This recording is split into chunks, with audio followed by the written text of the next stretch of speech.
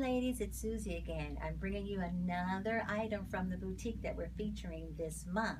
Spring is in the air and we're doing some things with a lot of color. Color is really going to be important, what do you use it this spring.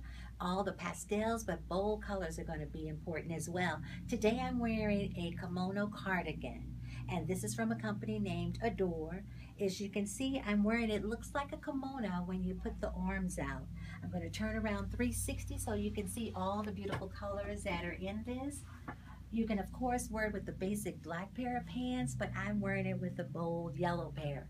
As you can see all the colors that are in the it's almost like Jacob's color coat, raincoat. It has red, it has green, black, purple. You can wear it with any of these to accent it on the bottom, but I'm showing it today with the yellow. Now, this is multi-purpose. You can do it, like I said, as the kimono type, but you can also wear it almost so that it looks like a cape. So now you see it where it's just kind of doing almost like a cape by the arms. This is $79. I'm going to do a 360 so you can see it again, how it flows in the back on the arms.